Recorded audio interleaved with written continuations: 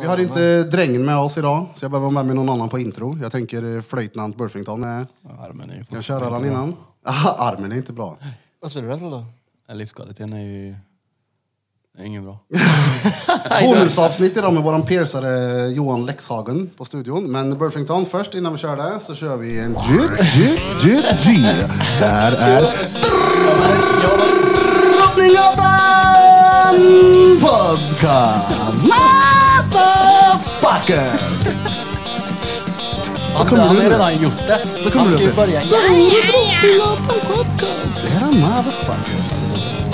Det här blir stenbra det. Hur går det med handen? Jo, Knogarna? det går bra. Bra. Det gör det. Och hej till Lex. Inte så... Hej, hej. Det här har vi provat, eller försökt få till eh, flera gånger vi har varit här. Men nu kör vi. Ja, Diskutera lite piercing, scarification, branding och suspension och så får vi se vad det blir mer. en så kallad introduktion. Ja, Pierce. rätt nice. Lite piercing. Hur många har du fått gjort idag? Det kanske du inte vet, men det har rullat på. Inte en aning, men en 15-tal, 20 kanske. Ja, det är så pass. Ja, ja. Full Cool. fart. Karlstad Fan, gillar vi. Och Karlstad verkar gilla oss. Cool. Peters tur sen. Vart då? Nej, nej. Du vet, du, vet vad jag tänker. ja, det vet jag, men nej. Jag tänker Falken. ja, men jag, jag tänker inte Falken. Falken är ett väldigt vackert namn på en sån sak. Det är det. Ja, det är det. Jag saknar min lite. Men jag, ska, jag kommer vänta. Jag ska inte göra det än. Klokt. Vi... Alltid när det kommer till tatuering och piercing likadant. Eftertänksamhet och lite försiktighet. Gärna impulsivt men fortfarande med en... Eh, det ska finnas ett fundament att man ska ha tänkt igenom sin situation.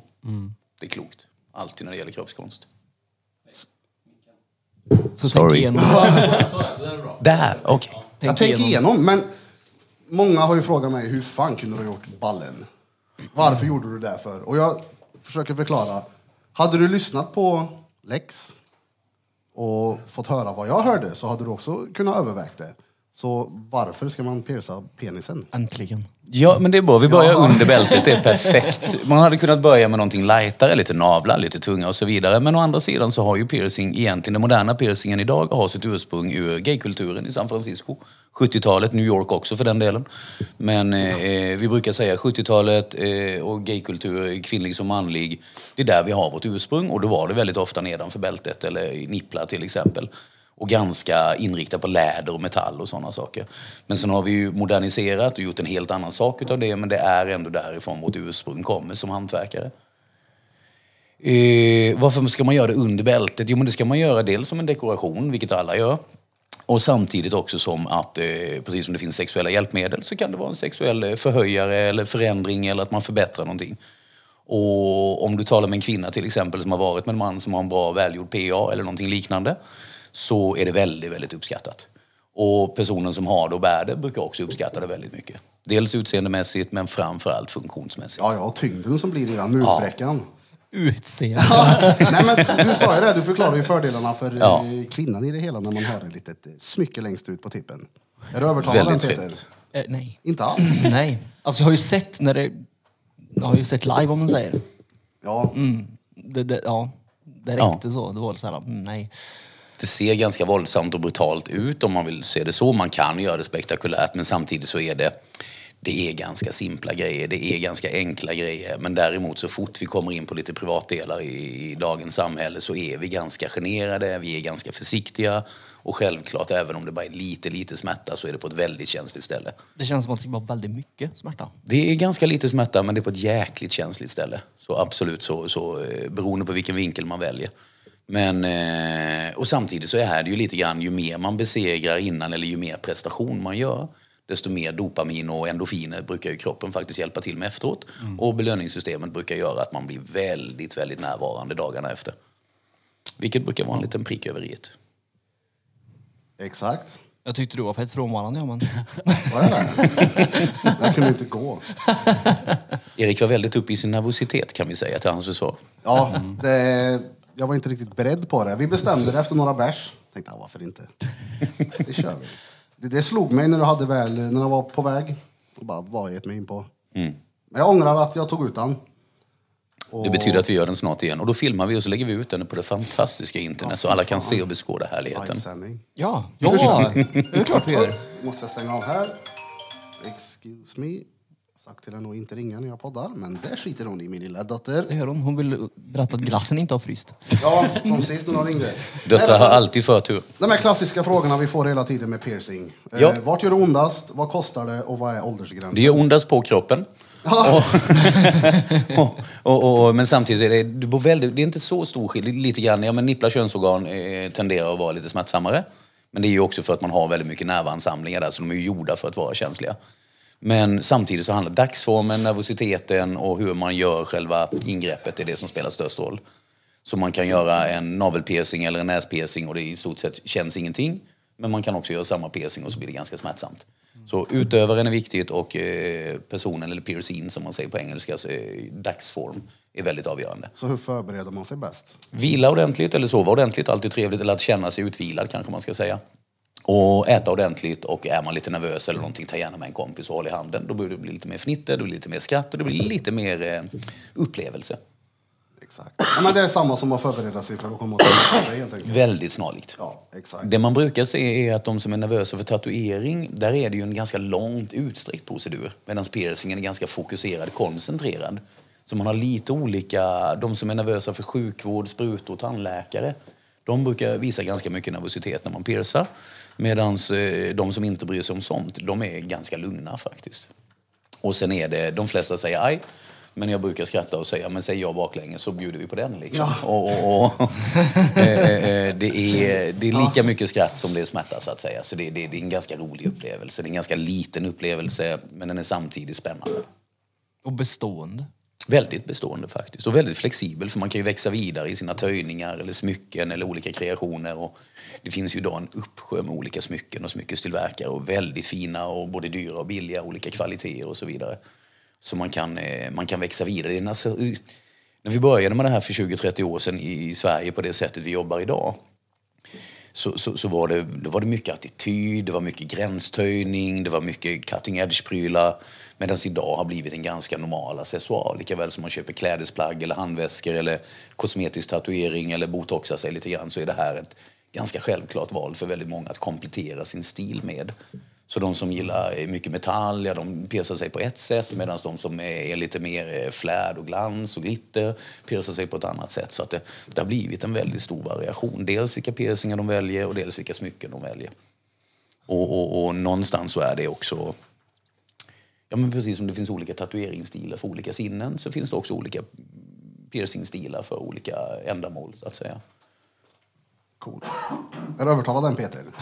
Oj, oj, oj. Ja, det är så. Ja, Det är så. Dagens hackkyckling. Vad, vad sa vi? Sa vi åldersgräns? Eller missade jag? Åldersgräns är 18 om du kommer själv, gärna med legitimation. Och är du under 18, ta med dig en förälder som har med sig legitimation så löser vi det och då är det 15-årsgräns. Vad det gäller örsnibben så har vi ingen gräns alls. Cool. Och detta är i samråd med Socialstyrelsen sedan många år tillbaka. Olika branschorganisationer och så vidare. Det är en ganska lämplig. I Sverige så, eh, utomlands har man ofta 16-årsgräns till exempel. Men i Sverige och Skandinavien så har vi ju det vi kallar byxmyndighet. Och då har branschen valt att hålla sig till ungefär samma och även där i samråd med Socialstyrelsen. Det är bra. Men du har inte så många piercingar själv. Jag, kan, jag misstänker att du har säkert haft en jävla massa, men du har inga R som man brukar få från piercingar i ögonbryn och... Ja, jag har några stycken. Men eh, numera är jag så gammal så jag buskiga ögonbryn så de syns inte. Nej, men de syns om man tittar och eh, herregud, jag har haft så mycket piercing att jag inte ens kan räkna det. Men eh, det jag har nu är ganska mycket millimeter, men de är också ganska privata. Och eh, jag har blivit lite äldre så jag har inte så mycket att bevisa och gillar som sagt väldigt mycket av det vi idag kallar för tribalism eller tribes och och väldigt mycket handgjorda smycken, skulpterade eller kanske gjorda av någon speciell designer eller någonting sånt. Så jag är väldigt nördig i det. Eh, vilket är trevligt och precis som man håller på med pluggar och tunnlar eller tjocka ringar eller så finns det olika konstnärer som faktiskt gör och tillverkar och designar smycken och sådana saker. Och är man lite insyltad eller lite innördad i det så finns det ganska mycket att välja på. Man ganska mycket millimetrar. Ja, I öra menar du? we all got a little gauge queen inside, eh? och, och, och det betyder egentligen att ja, men stöjda smycken, till exempel så, eh, ja men vi kan prata öppet och ogenerat. Jag har en PA som är en 5-6 millimeter. Eh, kanske har en Afarda som är en Vad hade du? 7-8 Det är millimeter. Prins Albert. Jo, det vet jag, men vad Ja, hade du för millimeter? hade du? Oj, vad hade jag? Det, vi satte en jävla tjock. 3-2 på det här för mig. Ja. Så, så vi började ganska tjockt och ganska rejält och det är för att det är snälla, runda, mjuka former. Alltid trevligt i sådana kroppsdelar. Och, Den är ju inte jättestor, men det är väl ganska stort för att vara... ja, det är rejält är det. För att göra första liksom. Absolut. Jag tyckte ju din var stor. Tänk dig dubbelt då. Ja, vi, pratar, vi, vi pratar nu om piercingen så alla vet. ja, men det ska ju vara en eh, presentabel en. Det ska ju vara den här ding, ding, ding man kan skåla med. Den är gjord för att användas och då vill man ha snälla, runda, mjuka former som, som tål ordentlig belastning. Eh, Annars blir det ganska motsatt effekt. Eller så blir det de här, har man väldigt tunna smycken, till exempel om man har tunna smycken i öronen bara, så blir ju det en skärande egenskap och då blir det att man sliter ut eller hålen stretchar och det blir lite konstigt. Så man vill alltid ha snälla, runda, mjuka former. Eh, Hur, vänta, eh, hur, hur töjer man? Ja, alltså, jag- alltså hur, hur, töjer? Där? Ja, töjning är, ja, det är precis som i öronen. Det vanligaste är väl kanske att man töjer öron, men väldigt många töjer nipplar till exempel, eller genitalier och sådana saker. Det finns vissa kroppsdelar som inte är så smarta att töja. Men samtidigt så är det väldigt vanligt att man vill ju ha snälla, runda och lite tyngd i till exempel. Och man vill att det, och, och, och, eh, man vill att det ska kännas bekvämt. Och en rund, skön, mjuk kudde är mycket trevligare än att sätta sig på en planka. Och så är det ju naturligtvis med smycken med. Snälla, runda, mjuka former är ett motto. Och stora uppenbarligen. Ja, storleken är ju den är lite subjektiv. Eh, eh, men man vill ju ha lite rejäla grejer, absolut. Ah. Aj. Det är ju mer en funktionspiercing, även om det är estetiskt tilltalande också för många och vissa, eh, så är det fortfarande en funktionsinriktad piercing. Medan en eh, pärla på kinden till exempel som du har, den är mer renodlat estetisk. Den har ingen funktion mer än utseendet. Eh, nipplar till exempel, där är det lite både och. Väldigt många gör ju mycket saker och töjer sina nipplar eller hänger saker och man experimenterar mycket. Medan en del bara sätter en liten pärla och dekorerar Men sig. alltså, Jag får töj- töja nippeln. Hur mycket kan man töja en nippel, tänker jag? Den största jag har sett var 12 millimeter tjock. Och Men alltså, hur såg ja, nippeln ut? Det är mitt öra det. Demolerad fullständigt. Men hur... Vadå, så han satt utåt liksom som en femkrona väldigt, typ? eh, Ja, ungefär så. Då, jag, tror, jag är inte riktigt säker nu, men jag tror inspirationen kom från en gammal eh, stambild där man hade sett någon som hade någon, någon, eh, jag kommer faktiskt inte ihåg vilken världsdel det var, men det var en, en töjning och då har man kopierat det och gjort liknande saker. Du måste ha sett så otroligt mycket udda i dina år. Eh. Ja, jag har sett mycket karriär. tok. Mycket tok. Och mycket fint och mycket vackert också. Men väldigt mycket gränstöjande. Jo, det. Ja, jag har jobbat i 26 år nu och eh, innan hade jag väl några års intresse också, men som proffs har jag jobbat i 26 år. Och eh, skulle väl kanske säga att jag har sett och gjort det mesta i sammanhanget. Och en del saker är så att man kan inte ens berätta det officiellt för det blir för oförskämt alltså. Ja. Det det. Men det är en härlig bransch och det är ett fantastiskt jobb. Men vi är inte så många som jobbar med det tyvärr och därför så gäller det att vi för traditionen vidare, utbildar folk, eh, bygger mer och mer studios, reser mer och mer och sprider hantverket egentligen. Och konstformen också. Eh, man kanske inte säger att om man jämför med tatuering, det är en väldigt tydlig konstform. Medan eh, inom bodypiercing-världen så är det också och förblir en konstform men den är lite otydligare. Det handlar mer om estetik eller kanske en designkänsla, kanske att bygga upp en stil eller en karaktär eller en profil och så vidare. Så där kan man ha ganska mycket olika aspekter. Men, men, blir det subkulturer inom det här? Alltså de som töjer mycket blir liksom de typ på ett forum eller vad man säger? Ja, det blir det. Dels på ytan. Man kan alltid säga gage queen som sagt och skratta lite. Men det finns folk som, som totalt går in och mållåser på att jag ska ha 12 mm där, jag ska ha 4 mm där, jag ska ha en vanlig där. Och man, är, man är väldigt exakt i vad man vill prestera med sitt utseende. Medan en del till exempel som håller på med scarification eller någonting, man är ute efter ett utseende eller en bild. Eller någonting som man vill eh, visa att man klarar av eller kan göra. Eller förstärka ett utseende man tycker själv att man har. Eh, jag må just prata könsorgan till exempel så har jag en kille som har hängt i extremt tunga saker i sitt huvud. Eh, nedre huvud då. Eh, men med syfte att töja. och han lyckades förlänga sig med nästan 3,5 centimeter. Eh, väldigt nöjd. Hans fru var inte lika nöjd, men han var väldigt nöjd. Och han jobbade som modell och, och nakenmodell och tyckte att det här är det shit. Så han jobbade med det i flera år, men lyckades faktiskt förlänga sig väldigt, väldigt mycket. Så, 3,5 centimeter. Nu var han, ja, jag tror det var 3-3,5 centimeter tror vi. Mycket. Jag skulle också vilja dubbla min längd. Ja. Men det, är så, det, det, det är så Mycket ärligt sagt. Hängt med. Ja, nej, men det kan vara ett sätt. Och- Och sen kan det vara ett sätt att skydda. Sen vet jag inte om ni känner till begreppet regalio, men om man tittar på just eh, naturfolk, infödingar, eh, olika folk från olika ställen, de klär sig ofta i, man har indianskruder, man har fjädrar, man har penisfodral, man har geishaskor som en helt annan eh, liknelse. Men just det där att man har en dress, man har ett utseende för att framföra en viss roll. Man kanske vill efterlikna ett djur i skogen, man kanske vill efterlikna en karaktär, man kanske vill se skräckinjagande ut om man är på slagfältet, man kanske vill eh, dölja sig och vara kamouflerad, man kanske vill eh, befinna sig, och i städerna är ju faktiskt eh, stadsdjunglar på ett sätt. Om vi tittar hur vi människor integrerar oss, hur gruppdynamik funkar och sådana saker. Det är en av föranledningarna att jag har fördjupat mig väldigt mycket i det vi kallar kroppskultur. Varför vill vi tatuera oss? Varför vill vi tillhöra en grupp? Vad är psykologin bakom? Och jag har studerat det det kallas modern primitive, skulle man kunna samlingsnamna det lite grann, moderna primitiver. Vad vill vi visa? Vad är det vi vill säga? Vad i helvete håller vi på med? Och varför utsätter vi oss för så mycket smärta för att få en ryggtavla tatuerad? Eller varför vill vi stympa våra könsorgan? Varför vill vi klyva en penis mitt i tu? Och vad finns det för syfte med det? Ja, faktiskt. Och, och, och det finns Som att det vore världens mest självklara grej. Ja, faktiskt vadå? Ja. Ja, i min värld är det fullkomligt självklart. Hur långt in kliver man den då? Eh, väldigt varierande på hur man är skapad och vad önskan är. Men eh, i eh, de största fallen så att säga hela vägen in till den inre ringmuskeln där man kniper av eh, urineringen till exempel. What the fuck? Som man typ... Ja, så man klyver hela det som kallas för eh, corpus colossum, tror jag den heter, eh, svällkroppen. Det vill säga, Alltså, alltså, man klyver den i mitten. Ah, ja, Och, det är ja, det är ganska grova grejer och extremt Corpus sällsynt. colossum. Men Corpus. eh, man ska typ kissa sen då? Eh, då sitter man ner. Det är jättebra för prostatan, jag lovar dig. Ja, det Om gör du jag faktiskt alltid. sen ska du Jag- bara knyta ballen. Ja. Ja, men, nu pratar vi väldigt spektakulära och ganska extrema grejer. Men det ha- finns många stammar som har sysslat med det. Om vi tar en liten lightare version som också är ganska hardcore så har vi till exempel Ampalang och Apadavia. Den går igenom hela det manliga huvudet från sida till sida eller uppifrån och ner. Och det kommer från en gammal, gammal indonesisk kultur och Filippinerna och Samoa till exempel och så vidare. Och där sa kvinnan väldigt ofta att ha sex med en man som inte har sitt kön eh, hanterat så att säga eller ombyggt. Det är som att äta ris utan salt. Det, det är ungefär jämförelsen liksom.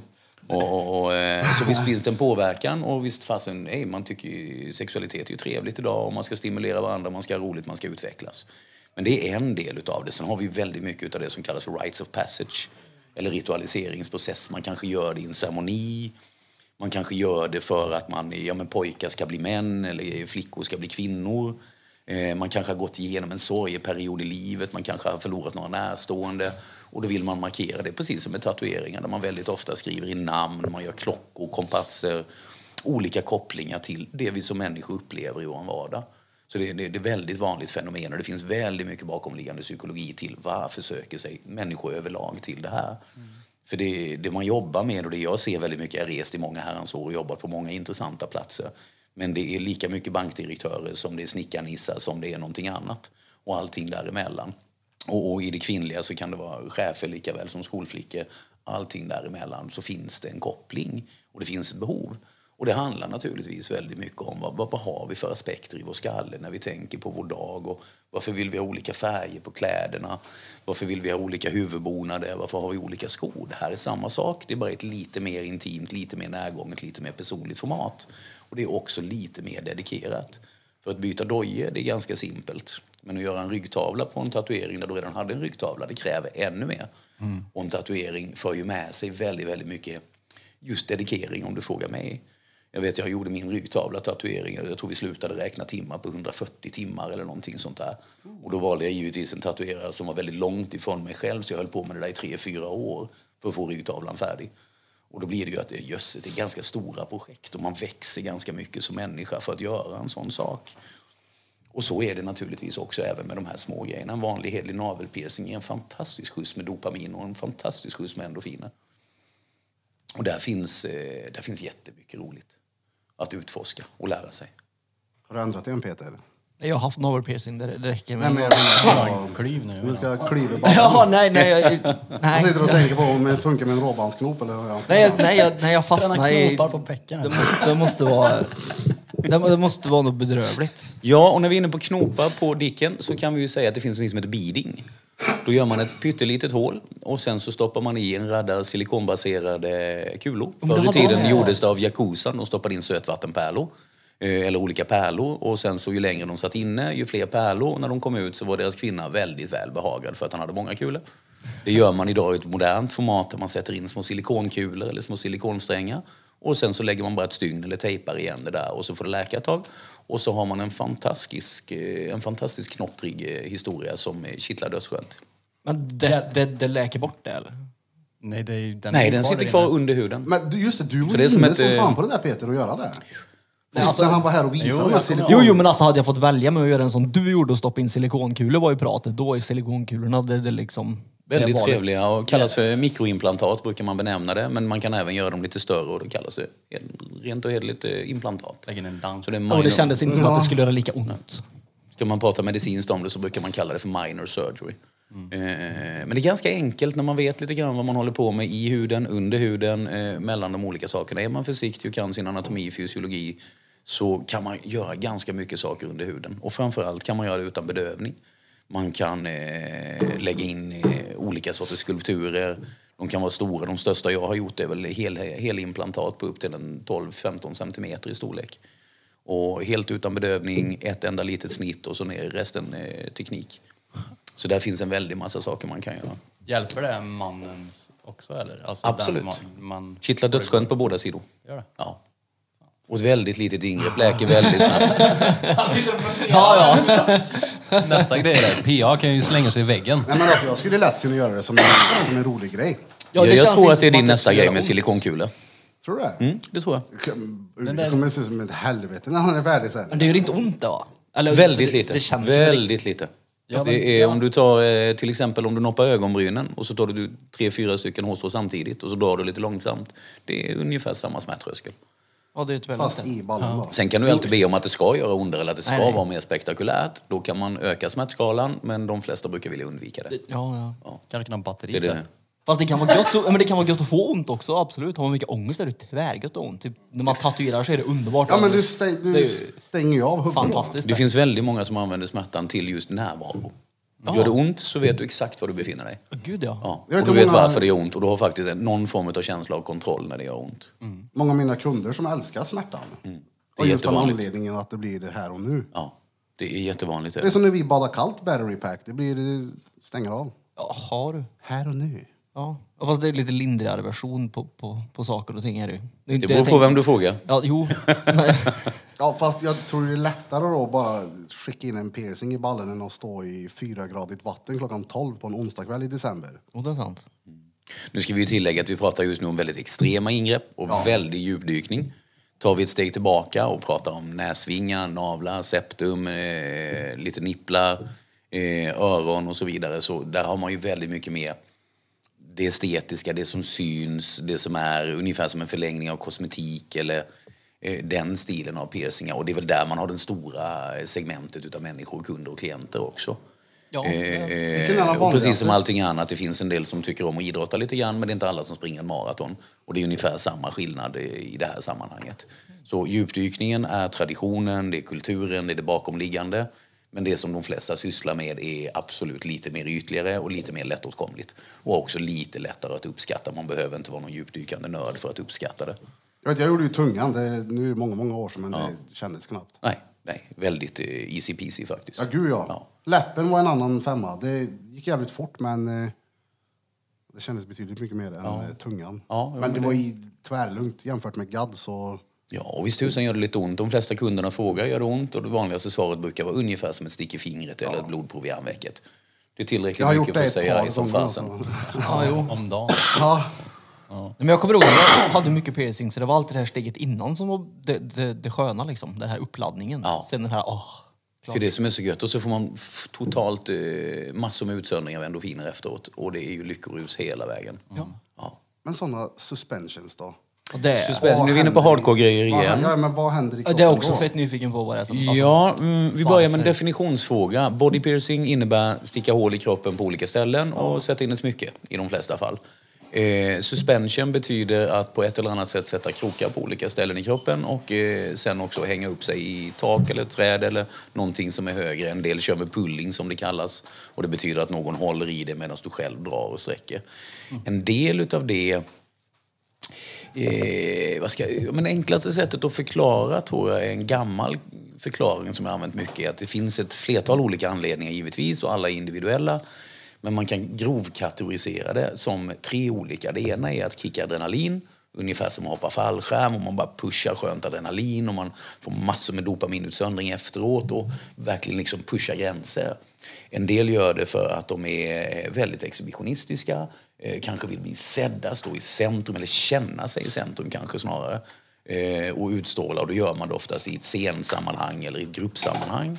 Och sen det tredje är också lite grann det här som jag var inne på innan, rites of passage. Man behöver besegra någonting eller man behöver komma vidare.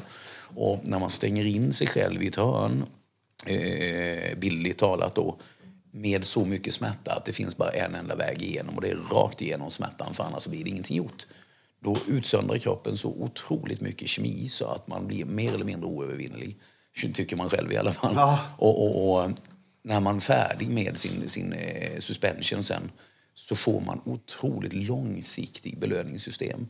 Eh, så att, jag kommer ihåg första gången jag hängde för, på 90-talet någon gång. Jag, ett halvår ungefär. Så kände jag känslan av att jösses, kan jag göra det där så är det ju hur lätt som helst att ta sig igenom livet. Så det var så, sånt skönt pådrag och påslag av kemi i kroppen. Och det är så starka upplevelser att när man besegrar det då kan man ta med tusan göra vad fasen som helst sen. Hur länge, Så- så. hur länge hängde du då när du hängde första gången? Oh, första gången var det nog 20 sekunder tror jag. Men det var också väldigt, man hade inte så utvecklade tekniker på den tiden. Eh, krokarna vi använde var väldigt begränsade och sådana saker. Men jag var uppe och jag hängde en, som sagt kanske, ja, kanske 15-30 sekunder där någonstans. Eh, men det gav fortfarande ett enormt påslag. Andra gången så hängde jag väl i alla fall en timme eller någonting sånt. En timme? Ja.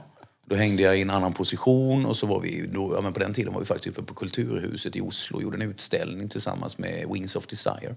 Och det här var precis i begynnelsen, det var bara ett fåtal personer. Så en kollega uppe från Oslo hade tagit eh, en kille, en kompis, en kollega från England som kom och utbildade oss samtidigt som vi gjorde performanceutställning. Och väldigt, väldigt intressant och väldigt mycket skriverier om det och väldigt gränshöjande. Och då var vi en samling eh, bodypiercers ifrån Skandinavien som samlades just för att utbilda oss själva i det här under kontrollerade former. Och så tränade vi och utbildade oss på varandra med honom som ledare och, och, och som guide och sen så tog vi det vidare och åkte hem och fortsatte utveckla teknikerna på, på det sättet. Och, men här pratar vi om suspension är alltså man kan hitta det i Sydostasien, i norra Asien, i Skandinavien, i Europa, i södra Europa, borta i Nordamerika, i Sydamerika. Så finns det olika snarlika versioner av väldigt, väldigt lika ritualer. Så det här har man kunnat och vetat i tusentals år alltså. Och, och, och, eh, det, det är lika gammalt som vår svenska midsommarstång liksom, och vad den egentligen symboliserar och är till för. Eh, och det är långt ifrån små grodorna, men det tror jag alla vet idag. Informationssamhället har gjort att vi vet så himla mycket mer. Men när man tittar på de här olika kulturerna, de här väldigt fördjupade sakerna, så är det ju väldigt mycket att komma åt det vi kallar transtillstånd. Att komma åt eh, den här kemin som kroppen utsöndrar. Idag kan vi vetenskapligt kalla de här signalsubstanserna för olika saker.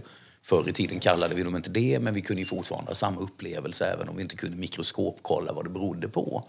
Men vi visste precis vad det ledde till och vi visste precis när vi behövde det och vi visste precis vad vi kunde använda de här krafterna till. Och, och, och eh, på det sättet så gör det att den fördjupade historien och antropologin i det här är superfascinerande om du frågar mig. Men jag är å andra sidan väldigt nördig i sammanhanget. Men finns det enklare sätt att uppnå Jag det här fråga utan att hänga i krokar? Absolut, absolut. För jag vet, du brukar ju visa massa poser och sånt man ska göra för att få Ja, men, till exempel hållning och må bättre. Men Ja. En light-version av att hänga i krokar och få ut något. Ja, man kan till exempel göra det vi kallar en power pose, det jag tror du tänker. Och det är som sagt, eh, ställ dig på ett visst sätt, andas lite grann, eh, höj armarna i himlen eller tryck in dem mot binjurarna och på det sättet så styr du och reglerar kroppens kemi. Och det är egentligen det det handlar om. Men om man gör det extremt så får du givetvis extrem effekt. När du gör det lite lightare så får du en lite lightare effekt. Men, För jag har ju fått jävligt mycket bättre hållning sen jag började. Ja. Alltså, Och det är sen du lite- visar och jag har tänkt på det, många har påpekat också. Så, och det är ju 100 procent på att Ja, det är lite fascinerande, Lite gym också, men det är ju, jag tänker på det. Ja, jag började ju som bodypiercer redan på 90-talet men sen så efter några år, jag har alltid haft intresse av att studera det medicinska bakom och man fick höra väldigt mycket konstigt att ja, men om du drar lillfingret över ögonbrynet på det sättet då känner du blodådrorna. Bara, jag testade, jag kände inte ett jävla skit. Så jag började studera i läkarlexikonen, hur fan ser det ut på insidan egentligen och hur ska jag veta var nervsystemet befinner sig? Och när man har kikat lite på det där så finns det ju bra förklaringar. Men som alltid så handlar det om att researcha, ta reda på informationen och sen använda och applicera det med sunt förnuft. Och, och, och eh, vi var några stycken runt om i Skandinavien på den tiden som hade lite samma intresse och utvecklades tillsammans. Och vi reste, vi jobbade väldigt mycket tillsammans och vi utvecklade väldigt mycket saker tillsammans. När vi började så fanns det inte ens verktyg som var ändamålsenliga utan vi byggde om tandläkarverktyg eller gamla operationsverktyg som vi köpte av sjukvården. Och, och, så vi uppfann ju någonting som i stort sett inte fanns. Liksom. Och, och även om vi hade en inspirationskälla. För jag kollade på en dokumentär om suspension, då hänger de i varandra. Ja, det är en är klassiker en- numera. En som hänger med krokar i ryggen och sen när han krokar i bröstet så är det en som hänger liksom i under. Väldigt uppskattat. Och väldigt, det behöver inte vara att man, att man hänger ihop så att säga, men man delar ju energi på ett väldigt fantastiskt Ja, sätt. de sa det, de som hade hängt, att vi kom typ närmare varandra. Fast... Ja. Du hänger lite ikväll Peter? Ja. jag hänger under dig då. Jaha! Utan att höra dig. Ja, det är ganska brutalt. Är det. Men det är lite som när man bygger en sån här stor eh, pyramid, mänsklig pyramid och så vidare. Det blir, det blir en gruppdynamik, det blir, man delar, ja, man ska prata om energi, men man, man delar energiutbyte så att säga. Man delar smärta, man delar upplevelse. Och det är lika starkt som någonting annat, precis som att man går igenom en sorg eller en glädje tillsammans. Så det är också väldigt starkt. Men är det så extremt som det ser ut? Eller ser det extremare ut än vad det är? Upplevelsemässigt alltså. Oftast så ser det, mycket, ser det mycket mer spektakulärt ut än vad det faktiskt är. Och det är lite av förtjusningen. jag blir ju nyfiken på det. Ja, men det är ju som en köttkrok liksom som man Ja, hakar men i. jag tänker att Absolut. kan det inte brista liksom? Alltså, Det förekommer eh, och där är det så, givetvis man ska vara seriös utövare, man ska ha koll på sin kost, man får göra en test.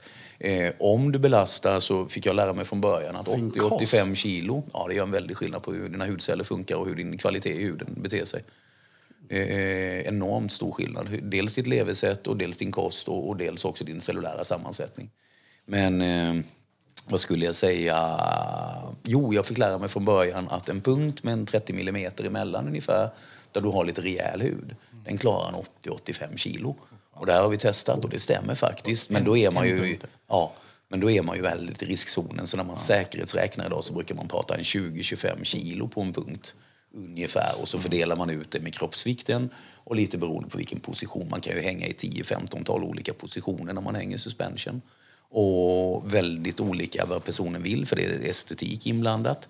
Men det är också lite grann vilken smärtnivå vill du ta det till. Och en del vill till exempel vara i väldigt statiskt tillstånd, vilket är väldigt svårt i sig. Om man tittar på de som håller på med bondage eller shibari eller någonting sånt till exempel. Och då handlar det statiska tillståndet jättesvårt, bara det. Det kan ni ju tänka på alla här som dampar och ADHD och inklusive mig själv.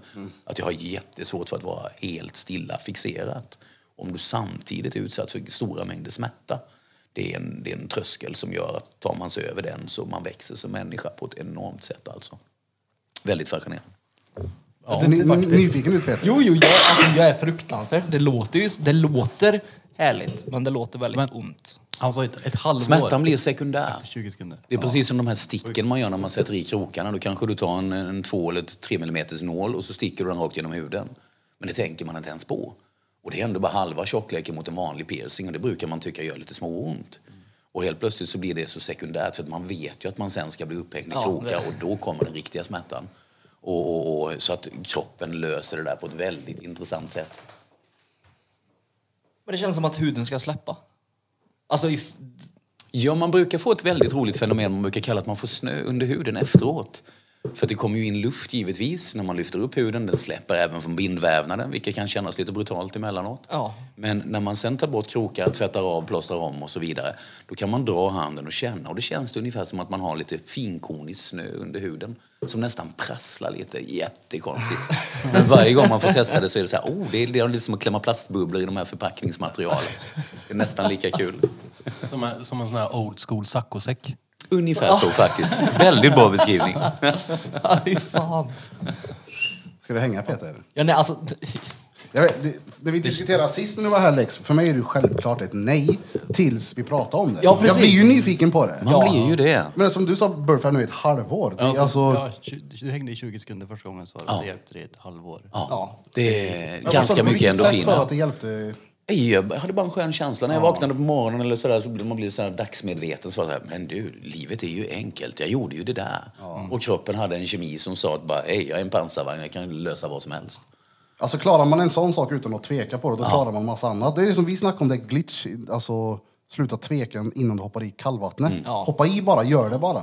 Och så fort man har varit nere och vänt så löser ju kroppen problemet. Det är som att gå på glödande kol ungefär. Kroppen löser problemet Och njut. Det vill jag testa. Ja, det får vi prova. Ja, det, Ja, det kan vi gott göra. Det är exakt samma sak som, som vinterbad, fast omvänt. Där är det värme istället, men kroppen löser problemet. Fy fan. Det är därför man... Ja, ja.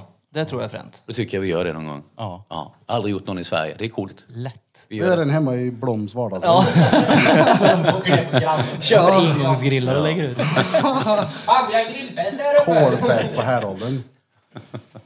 Ja, men jag undrar om ni inte har en gammal Karlstad- Karlstad-legend, en kille som heter Patrik Budda en gång i tiden. Han var tidigt ut på 90-talet i bodypiercing-världen. Med görstora Eh, töjningar i Ja, väldigt. Ja, Han var ett stort ansikte och Karlstads face utåt så att säga. Men han var, jag undrar om inte han var i Indonesien, jag kan ha lite fel på platsen där, men där gick han på glödande kol.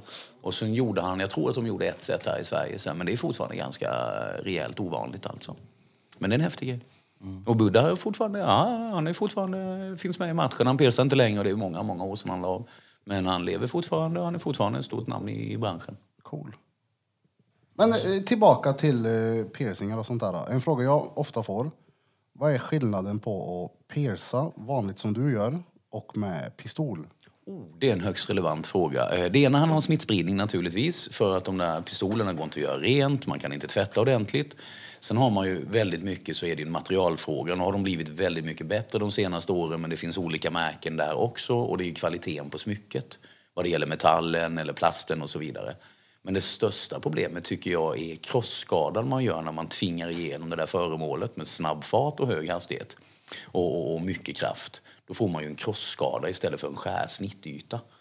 Och, och, och, och sen sätter man dit ett smycke som kanske då har tveksam kvalitet men framförallt så sitter det väldigt tajt så man kan inte göra rent det, det går inte att komma åt, det sitter direkt emot och trycker, inget svullnadsutrymme och generellt sett ganska bristfälliga material. Och då har man gjort ett ganska korrekt hål men med väldigt dåliga förutsättningar för läkning.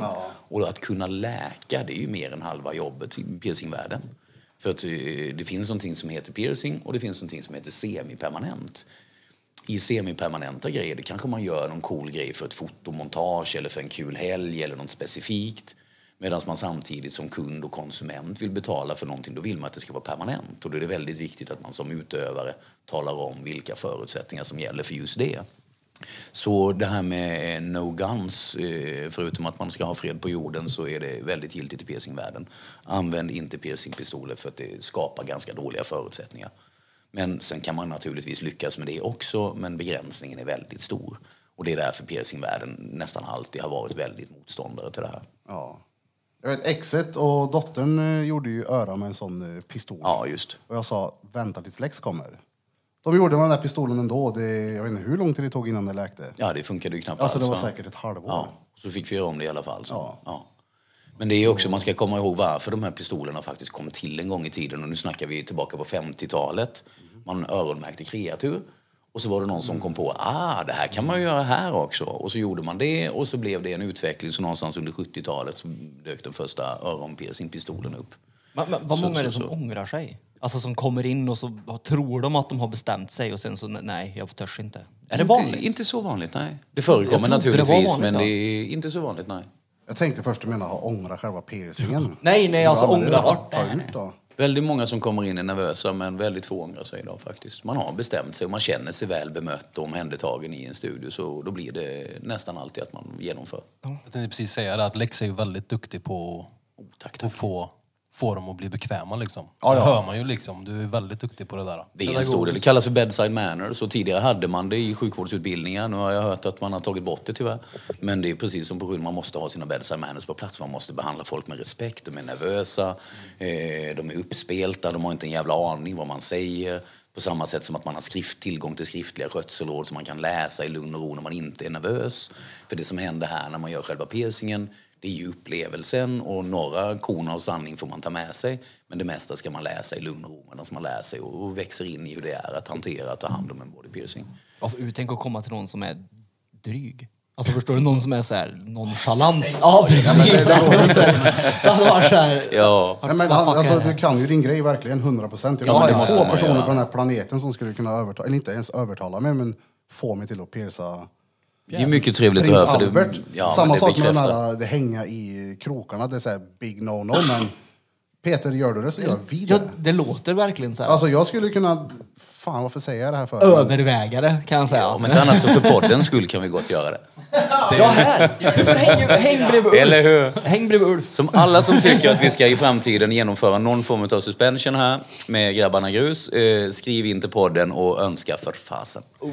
Men, men vad händer om det skulle vara så att man, att man bestämmer sig för det här säger vi, och, och så får man panik? Då får man det, då får man respektera det och hantera det.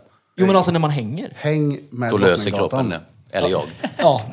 Alltså, Man kan Vilka- ibland eh, ta ner folk ifrån riggen för att man får inte höja gränserna för mycket. Men man kan också, ofta har man ju ett församtal där man går igenom vad vill du att det ska dra gränsen. För ibland tappar personen som hänger kontrollen. Och då är det väldigt viktigt att den som utövar går in och tar över kontrollen och styr. Och vill man då bli driven över gränsen så kan man faktiskt göra det. Och vill man att man ska dra i handbromsen så är det mitt ansvar att faktiskt göra det. Sen måste man hålla koll på blodcirkulation, man måste hålla koll på andning, man måste hålla koll på olika, ja men så att det inte sker någonting eh, konstigt så att säga, eller någonting oförutsett. Där måste man vara väldigt, väldigt försiktig för det är som sagt extrema uttag vi pratar om. Händer det att folk tappar medvetandet eller svimmar när de hänger där? Det förekommer. Men det är, liksom, det här är, det här är liksom... Svimmar är lite fel ord, men just att man tappar kontrollen eller tappar medvetande och går över lite i transtillstånd och liknande saker. Eh, det förekommer. Eh, svimmar blackoutar, då brukar man ha lite koll och komma ner på marken redan innan så att säga. men hur... Men absolut, det förekommer. Om man nu svimmar och sen vaknar hängandes, hur fan... Inte att rekommendera, men då vill man ha proffsigt folk runt omkring sig. Man vill känna sig väl omhändertagen. Man kanske vill ha en filt eller en kollega, partner eller någonting som närmar sig. otrolig chock det skulle bli. Bara känna... Det är bara av att vakna från en svimning. Ja, ja, men då, det, det. Och sen så bara hänger den där. Men Peter, skulle du hängt med Drottninggatan? Nej, alltså, jag hade övervägt, hade jag gjort. Jag, ska, jag kommer ju hem och läsa mer. Jag såg ju mycket så här, äh, klipp och skit in och, in och läste lite. Men inte just bara om suspension, även om det här när man vad heter det, töjer. Nej, inte töj, vad heter det? Det har vi pratat om förut, nu sätter in silikongrejer. Ja, just det, Ja, det implantatdelen. kollar jag Ja. på. Men Bira, du kan, vi kan ju hänga dig här. Nej, men det går ju inte. så har vi en mick Du, jag bara-. Det går, det går avsnitt när du faktiskt om vi hänger. får Jag kan för oss, här, men det finns bättre ställen. Jag har varit med och byggt det här taket, jag litar inte ett skit på det. Jag hänger inte där, men det går ju så här. Nej, men nej. Ja, Det är ju närmare att hänga än att, för en PA i alla fall. Är det så? Ja, nej, då har vi två, tre intressanta. Det skulle vi kunna göra en liten trevlig kväll på. Jag, Men jag tänker hur- Jag tänker på måendet. Hur ser ryggen ut efteråt sen med... I stort sett ingenting. Om du skulle ha en tatuering till exempel, då ger man fasen i och man persar inte genom linjerna. Men genom skugga, genom färgfält och sådana saker. Det blir bara en liten blipp. Okej. Det har töjts ut två tuttar på ryggen. Permanenta bröst. Kan förekomma, men det är inte så vanligt. Så det är en 12 mm töjning om nipplarna. Men finns det någonstans här i studion det skulle vara möjligt att hänga? Det skulle möjligen vara i trapphuset eller i foajén. Där är väldigt högt i tak, det finns balkar där uppe och det finns utrymme att Det är ju ett fritt. innertak där då, så vi får ta oss förbi Ja, innertaket oh så ja. det hänger i de Jag har redan tjuvkikat så det Ja, går ja. borra i balkarna. Ja. Annars så finns det alltid utomhus. Eller så kan man anordna en restaurang eller en scen eller en eh, lämplig lokal för ändamålet. Jesus. Åh, det är väldigt intressant, det är väldigt roligt. Så nu kan vi grabbarna. någonting om piercing, vi kan någonting om eh, suspension. Eh, scarification, också en av de här extrema utloppen, ungefär som tatuering fast man gör det med skalpell. Eh, kallar man det för ink rubbing så jobbar man ju i lite bläck, det är en eh, sentida version. Eh, men man kan också bara göra renodlad scarification, då gör man en, tar man en skalpell och så skär man in ett motiv och så hjälper man ärrvävnaden att läka och bli så mycket keloidbildning som möjligt om man vill ha det. Annars så blir det bara platta ärr, de kan bli lite bruntonade, lite lila tonade, lite vita. Ja, för du sa, vi diskuterade det här förut, det fanns ju två olika sätt. Antingen med tandbörsten där eller med Ja, det vaselinet. old school-läkning. Ja. Då skrubbade man sårbanorna i ett par veckor efteråt med en tandborste och grovsalt. Mm. Inte så skönt, inte så lämpligt, väldigt hardcore och processen väldigt stark. Eh, för många, många år sedan så kom man fram till att det är mycket lättare att kopiera lite grann från tatuerandet. Man tar en vaselinyta med en ganska tjockt lager vaselin som i sin tur hermetiskt tillsluter så det blir lite bakterietåligt. Och sen så har man gladpack över men det gör att sårytorna hålls öppna och då betyder det att man lockar fram mycket T-celler och därmed keloidbildning. Och väldigt många som gör scarification vill ha en eh, mer eller mindre utav keloidbildningen för det är ju det som är själva jobbet. Men sen kan man även ha platta scars så det beror lite grann på var på kroppen man skär, hur djupt man skär och lite grann vilken pigmentering man har som, som, som människa. Det känns som att branding är värre. Branding är mer spektakulärt, det verkar se mer spektakulärt ut. Det är ju väldigt mycket, eh, vad ska man säga, psst, det bränner, Det är mer distinkt, det är lite mer högljutt tycker jag i alla fall. Eh, ja men det är lite, lite annorlunda så, det luktar ganska mycket. Smärtmässigt så är det inte samma sak, men scarification är ganska likt att tatuera linjer. Medan branding är lite mer helt i sin egen eh, värld, vad- hur, hur det känns och hur det befinner. Men så fort man har hållit på en stund med branding så tenderar kroppen att lösa det problemet också. För neurologin stänger av smärtnivån. För den är för hög så den stänger helt enkelt av. Så väldigt mycket efter att man har kört några minuter med branding så, Några så, så brukar det lugn- lugna sig. Alltså branding. Men är det inte bara en gång så här så är det klart? Moing. Okej. jag har ju sett på Jackass under de Ja, det, det finns, man kan, man kan göra, eh, det kallas för boskapsmärkning. Ja. Och då tar man ett järn, lägger det i glöden eller elden och sen så trycker man in det och så är man brännmärkt på det sättet. Så kan man göra. Det är ganska roligt. Det är många i vissa delar av världen som gör så. Det man brukar göra med eh, modern brandingteknik är att man har antingen plåtar eller olika former som i sin tur som man bygger och konstruerar ett mönster av. Så det blir precis som att ta en penna och rita ett mönster, men här gör man det med glödande plåtar istället. Vi Till diskuterade ju exempel. det och ha en sån Drottninggatan branding-logga. Mm.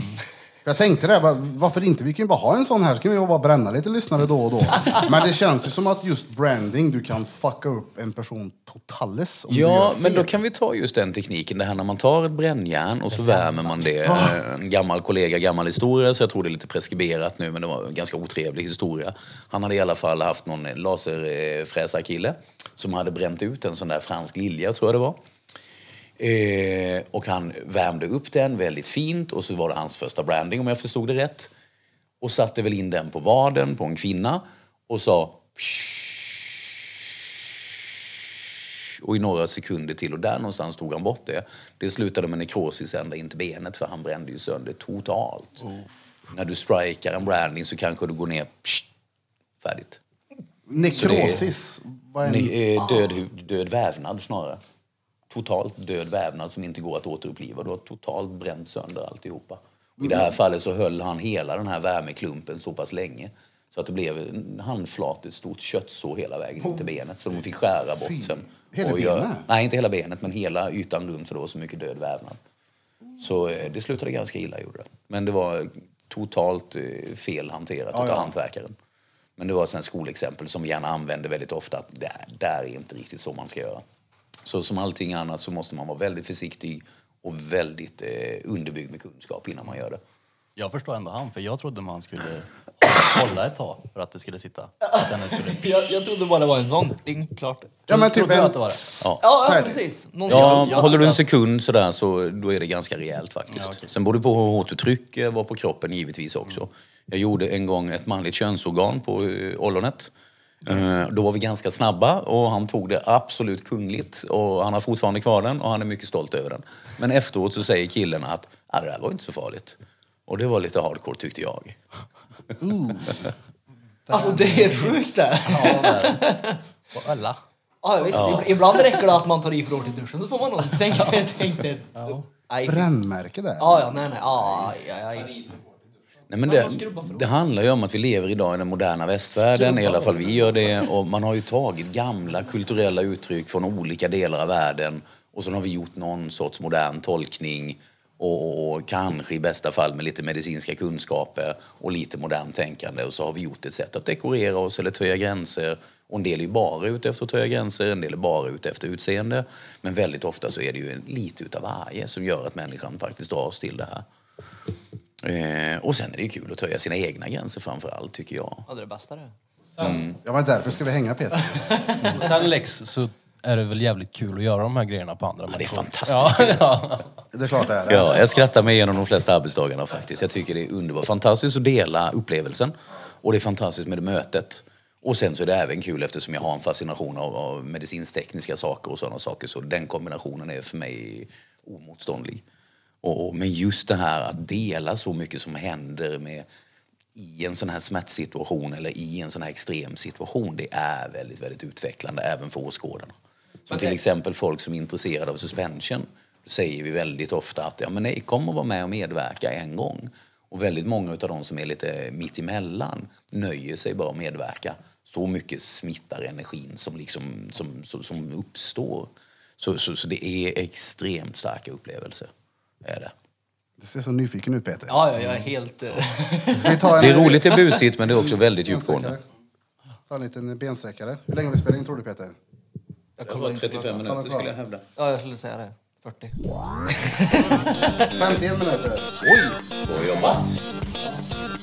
We are back. Efter en liten eh, bensträckare. Och Nico-kick. Ja, jag fick en lösnus här av eh, Krille. Jag blev fan lite yr. Inte min grej. Vad heter det, Lex? Ja, Många som har töjt sina örsnibbar.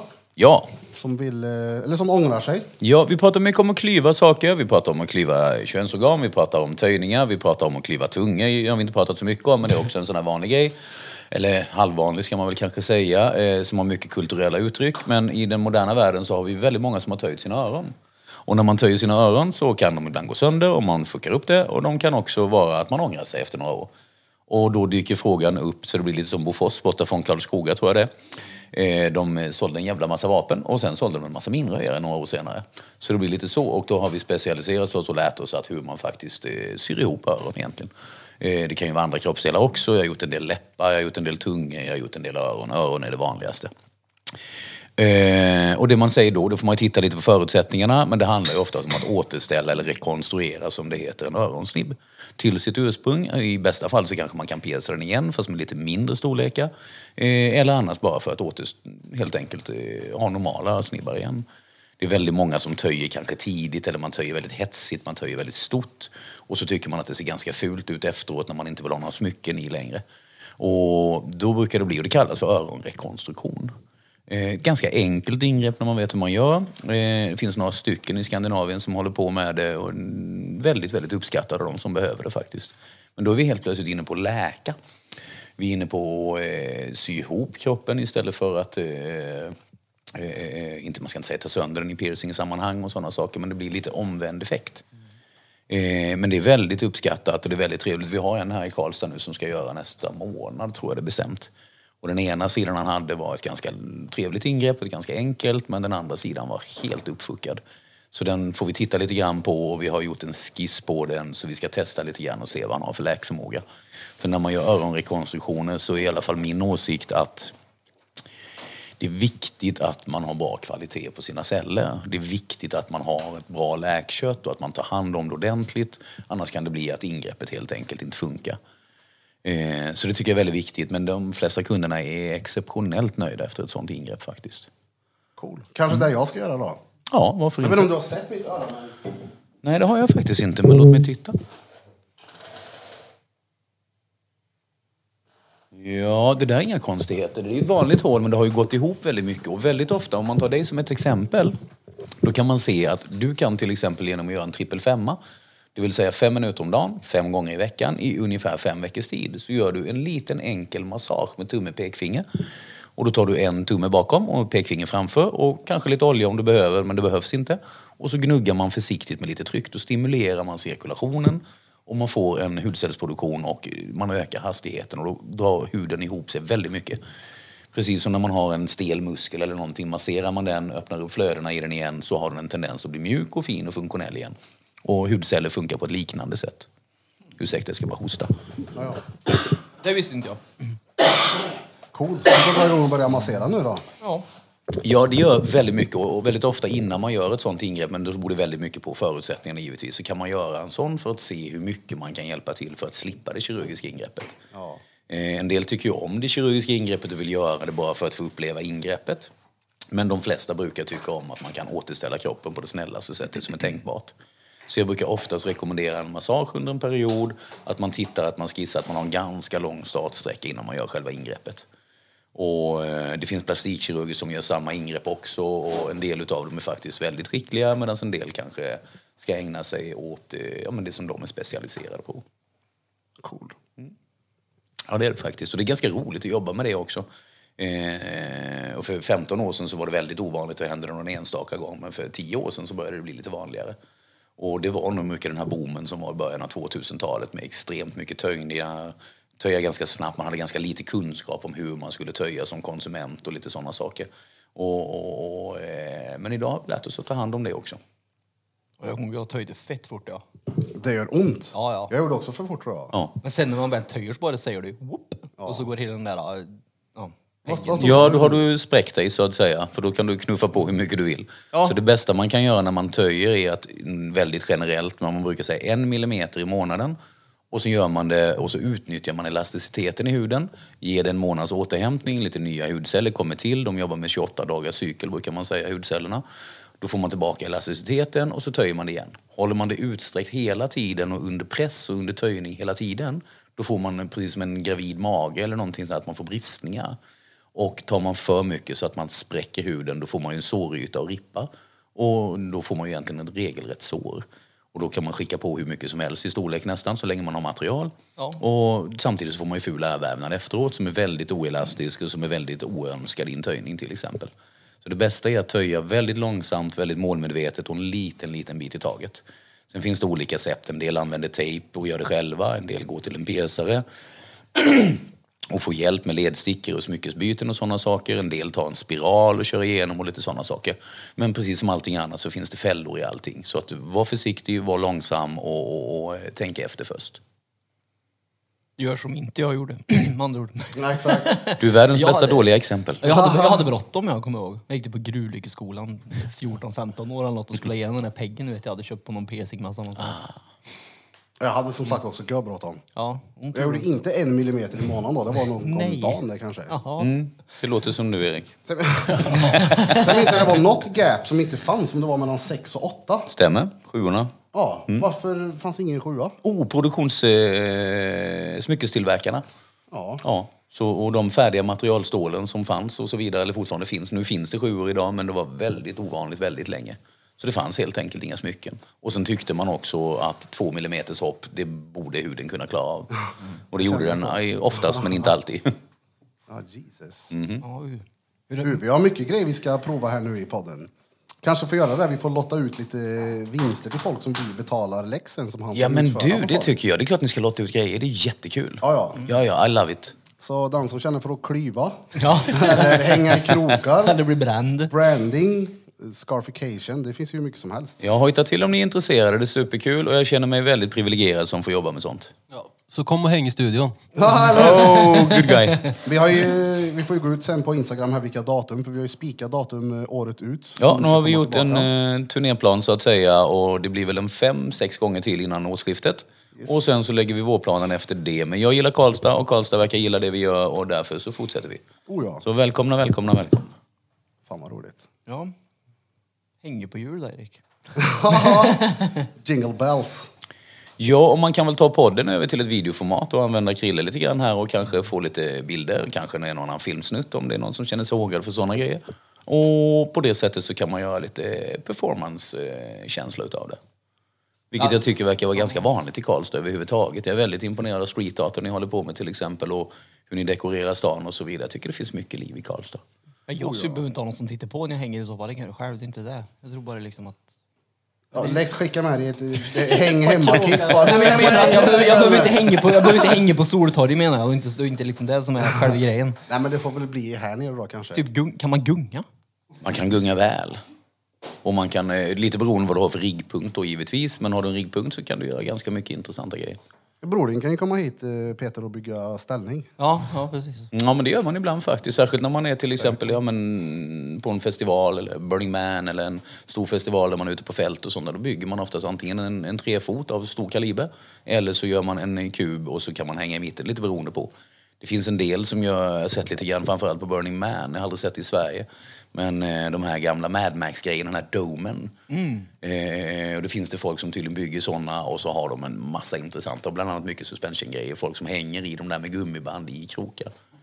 Och, och det finns även folk som hänger i helikoptrar, men det är ganska overkill. Ja, jo det. Men vart är de lindrigaste de här punkterna då? Alltså lindrigast. alltså, Lindrigaste vete tusan, men jag skulle säga, om vi pratar om hängning nu så pratar jag, skulle, jag skulle säga eh, skulderpartiet, ryggen. Det som kallas för en suicide. Heter positionen i suspensionspråk och eh, där är man ganska tålig. Eh, samtidigt så har jag aldrig hängt i den positionen själv, men de som hänger i knäna säger att det är också väldigt otöm- oömtåligt. Men det ser förskräckligt ut. Jag är det såg... en sittande position nästan? Eller? Ja, ja det kan det vara. Det kan det vara. Och så kan man hänga upp och ner i knäna också. Och, och det ser väldigt spektakulärt och väldigt smärtsamt ut. Men sägs då vara, som sagt, jag har aldrig provat den positionen själv. Men jag har haft krokar några gånger och det kändes faktiskt helt okej. Knäna? Mm. Ah. Inte, inte knäveck i rockringar nu, utan Nej, nej, nej. Ja, ja, ja. Ja, det ser väldigt spektakulärt ut. i Kannikenäse, här i en tunnel eh, i stan. Mm. Så här, graffiti, vad kallar man det? En laglig graffitiväg och en liten skatepark. Ja, Det var inte så länge sedan som det var några som var och hängde. okej. Och då var det någon som hängde i just knät. Ja. Ja, det såg var ju en så sån här sittande. Jävla obehagligt ut. En lokal performancegrupp eller? Nej, de hängde över vattnet va? Ja. Ja. Men var inte det över sån här... vattnet. Väldigt snyggt. Jag kommer ihåg att jag, jag drog innan de började hänga för jag tyckte det var så obehagligt. Ja, men vi, vi såg ju dem. Ja, ja. Men då- Ja, Lea var ju med. Vad fan gör de? Ja. ja, det är snyggt. Är det. Det är snyggt. Men det var en performance eller bara helt random? Nej, Eller? det var en som hängde sin första gång. Oj, intressant. Men de var jävligt seriösa, de Ja, ja, som det hade var med de. prylarna. Ja, så det de har låter det gjort här De mycket. Det låter det som. Men var inte de någon grupp, någon sån här Jo, grupp men- 054 eller vad de kallades? Ja, det finns några det sådana. Det kanske inte var de. Ja, men jag tror, jo det var någon sån Ja, där. det var, jag, Marcus heter en av de snubbarna. Han är med i grupp 054 och DJ. Jag tror han var med där och hängde. Häftigt. kan vara så. Fett. Nästa Ja, gång är det jättekul. Drottninggatan där det är Peter som hänger i Jag är, ju- kåtväggen. jag är, ju- ja, den kan jag hänga i. Jag är, jag är ju sugen på den här eftergrejen ja. Nej, Det är ju men den ja, ja. som lockar ja. Ja, ja precis. Ja, det är ju faktiskt det. Det brukar vara så. Ja. Målet är eh, det man suktar efter. För jag tror att när man väl har fått krokarna i ryggen då tror jag det är så här, nu är det lika bra att, att stå utan. Ja. Jag, Ja, jag är och det sugen finns på att ta ingen- ut dem på en gång liksom, så här, när jag ångrar mig. Ja, det, är- det är ju bara upp. Det finns ingen direkt tidsgräns. Har man väl kommit upp, hängt några minuter, så har du kommit åt det mesta utav eh, vinsterna rent kemiskt. Jag menar, allt som kan lugna mitt huvud naturligt är ju nice. Naturligt också. Ja, men du, ja, ja. Ja, jag känner en suicide Ja, i en pillertrillande värld är det rätt klokt sagt Jämfört faktiskt. med det, Jo, jag förstår vad du menar, men det lät bara lustigt. det står mellan det eller ett sexpack starköl och en karta ryggtabletter. Mm. det, de, jag, jag, vill, jag, vill ta, jag vill inte äta någonting eller dricka någonting för att bli lugn. Nej, Klokt. det är det som är fränt. Exakt. Och det är det mycket det här handlar om. För förr i tiden hade vi inte så mycket vita piller och för några tusen år sedan så var det lite annat. Även om det käkade svamp ute i skogarna så, så var det någonting helt annat. Och då använder man ju de här ritualiserings och ceremoniprocesserna på ett helt annat sätt. Och ceremoni har ju, idag om man tittar med kvantmekaniska, kvantfilosofiska aspekter så har man ju i ceremoniella tillstånd och i olika, så kan man förändra, påverka på ett sätt som vi inte riktigt eh, kan greppa idag i den moderna hjärnan så att säga. Eh, men då får vi gå långt tillbaka till shamanism, animism, gnosticism och så vidare. Men det är en helt annan resa och en helt annan del av historien. Men det finns väldigt, väldigt, väldigt mycket intressant om man vågar skrapa lite på ytan i det här med kroppskultur och kroppskonstkultur. Eh, både tatuerande, olika extremare uttryck, bara en vanlig hederlig navel eller en liten näspiercing eller en liten läpp. Så har det här med de värdena att göra. Eh, och det vi ser idag i den moderna människan väldigt mycket är att vi söker efter väldigt fundamentala värden. Vi är väldigt primala, vi är väldigt primitiva. Medan våra kunskaper och det vi lär oss idag i AI-samhället är väldigt långt ifrån. Och båda två delarna, om du frågar mig, tycker jag är både intressanta och väldigt nyttiga och väldigt bra för människan. Men vi måste också titta på våra geografiska placeringar, vi måste titta på vilken tidsålder vi befinner oss i och förstå att det här är någonting som är väldigt mänskligt. Vi söker oss till det här väldigt mänskliga skäl. Och sen gör vi det på olika, i olika yttranden, i olika format. Men i det vi kallar kroppskultur, eller kroppskonstkultur, så finns det exceptionellt mycket intressanta saker. Och genom internetutvecklingen som har varit de senaste 10-20 åren så har ju informationen nått fram till folk och människor på ett helt annat sätt. Vilket gör att det som utövare, helt plötsligt spenderar man mycket tid med själva jobbet, inte förklara vad som är vad. Och det är väldigt, väldigt, väldigt skönt. Och kunden, klienten, konsumenten är väldigt, väldigt välinformerad idag. De har mycket koll och de har mycket intressen. Och där kan vi se en stor förändring bara de senaste 20 åren alltså. Vilket är väldigt, väldigt trevligt tycker jag som hantverkare. Oh ja. Ja, jag är helt såhär, oh. ja. Peter är helt... Jo men alltså, jag, jag skulle kanske hänga, men jag skulle lätt kunna gå på kol. Så skulle jag säga. Ja, ja, kod skulle jag också lätt kunna göra. Ja men det tycker jag vi gör. Det skulle vara en väldigt kul grej. Alltså jag, när man väl står där och ska knata på så är det nog. Men, ja, ja. Jag har Man, gått drar, man drar sig för det in i det sista, men när man väl har börjat gå så finns det bara en väg. Keep faith, keep faith. Ja, det är bara att göra det. Ja, ja precis. Jag, ja. Som sagt, vi har en jävla massa grejer vi ska göra här i... Med Lex framöver. Mycket tack för detta. Jag känner mig väl välkommen och jag älskar, ja, men jag älskar Karlstad lite grann. Det är bra. Ja. Och så har jag hittat Solas hotell också. Jag tycker det är jättefint. Bästa frukosten i stan om ni frågar mig. Ja. Stengött. Ja, då har ni då lyssnat på avsnitt nummer någonting. Vi vet inte riktigt, för vi vet inte när vi ska släppa det. Det är upp till eh, Feltson Peltson Barbosa. Men hur som helst, idag har ni lyssnat på mig, Erik Bera Björk, CEO av Judiths Tattoo på Drottninggatan 14 i Karlstad. Och våran kära gäst, piercare. Hej hej. ja, jag är inte piercare. Nej, Peter. Men du pesar. Flöjtnant. flöjtnant Ulfatron. Och sist och minst, Ja? Sist och minst. Peppel.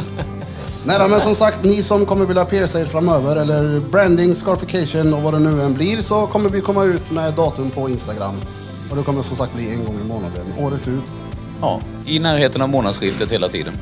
Perfekt, perfekt, Tack perfekt. så hemskt mycket att du medverkade i den här podden. Ja, men tack så mycket för att jag fick vara med. Det här är jättekul. Ja, ja, men det får vi gärna göra om. Ja, ja, men, Hemskt gärna. Det sjuka är att när du pratar så blir det som att man hamnar i någon slags trans. Ja, det är väldigt mysigt. Ja, det är det, är så väldigt här, man mysigt att behöver höra. inte bara liksom sitta och Ja, ja. lyssna så låter det, det är bara behagligt att lyssna. Liksom. Oh, ge oss ett par timmar till så kan vi göra en djupdykning. Lex. Fett nice. Askul. Hur som helst, Mycket tack. från oss alla, till er alla. Drom, droma, kubas. Wow.